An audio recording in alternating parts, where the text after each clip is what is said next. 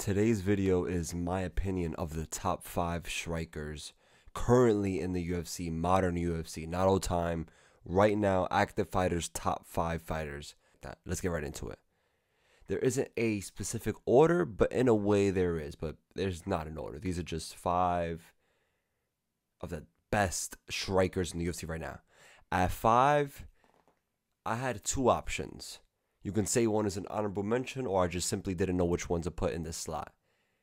But I had to have a mention, an honorable mention to a fighter in the women's division because no one's ever going to choose fighters in the women's divisions for best strikers. But Valentina Shevchenko is one of the best strikers in the UFC, period. Best MMA fighters, period. Fighters, period. We've seen finishes from her in all styles. We've seen head kicks from her. We've seen elbows, punches, knees, the variety of strikes. She's patient. She's accurate. One of the best strikers there is, period. Also at number five, starting from all the males division, I had Max Holloway at the fifth slot. Max Holloway, he's a volume striker, but that's his go to game. He's quick, he's accurate, he has insane cardio, he mixes it up, and his boxing is really good.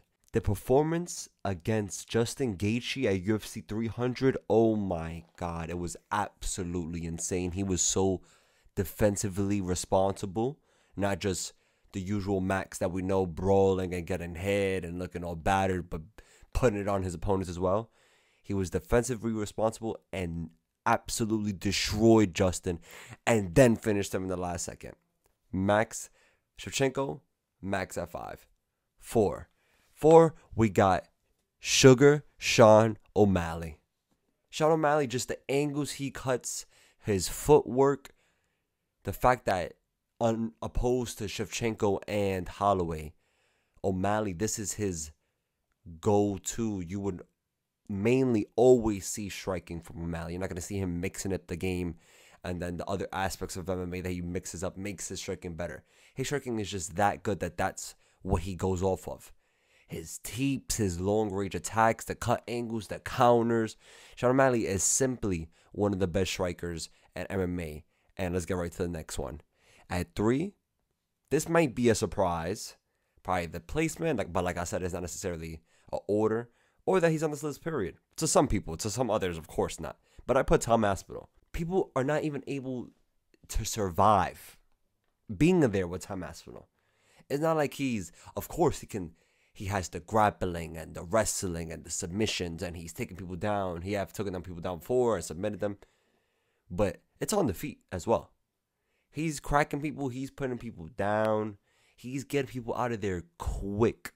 He's extremely quick and technical for a heavyweight. He's not just in there looping punches, hoping something finishes. He said that he gets inspiration from Israel Adesanya for years. He's a tactical, cerebral fighter.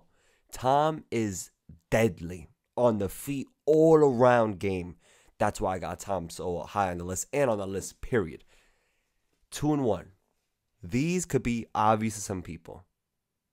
Like I said, not necessarily order, but in respects to how things have been looking now, we can say is in order. Two, I put Israel Adesanya. Honestly, this is the person that when I started watching MMA was my favorite fighter.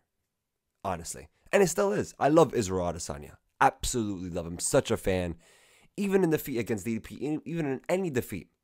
I'm happy I even get to see him compete. Israel Adesanya has always been and is widely regarded as one of the, if not best strikers in the UFC for years.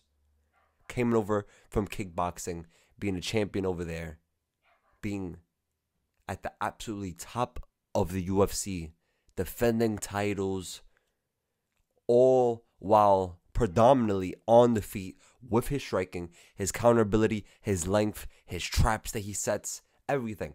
Israel Adesanya is one of the most cerebral strikers, kickboxers that there is, period. Number one spot. Israel Adesanya two. Alex Pereira one. Alex these strikers it's not just always the flash and the the counters and I and the flat and the kicks and the swiftness. It's how effective you are. And Pereira is simple, fundamental, and putting people away. Devastating, crushing finishes. Jesus Christ. People don't realize that the Adesanya Pereira matchup rivalry that we got is those were such high level great kickboxing fights. Alex taking that out of Izzy. Izzy Alex's will over, always show up. Pereira is so dangerous, so technical, so quick. Nothing is telegraphed, nothing is overcommitted. He is the most dangerous striker in the UFC right now. And he doesn't have that much of the other aspects of his game to then make the striking even better. If he had that, he would be the most dangerous person in the world right now. That was my top five Shevchenko, Holloway, O'Malley, Aspinall, Adesanya, and Pereira. Top six, top five, honorable mention of Shevchenko. Hope you enjoyed. Have a great day.